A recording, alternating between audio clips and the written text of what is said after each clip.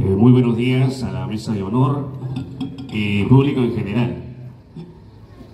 Sé que el personaje principal es el caballo de paso, pero también en esta dieta tenemos a la marinera que acompaña al caballo de paso. ¿no? Un fuerte aplauso, por favor, para ellos que hoy nos honran con su presencia. La pregunta es, eh, ¿de quién es la idea? ¿Quién introduce la marinera dentro de los eventos de, de Caballo de Paso? ¿no? Si podemos de repente saber quién eh, aporta esa idea de incluir la marinera que es bellísima en los eventos.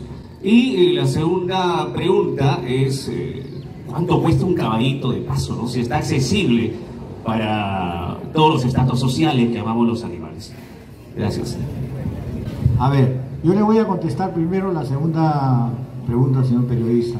Eh, como le dije, nosotros este, criamos por afición, por cariño y por amor al caballo peruano de paso. No se preocupe usted del precio, que el obsequio se lo hago yo. Vaya a recogerlo a mi criadero y tiene usted para empezar su crianza. ¿Ok?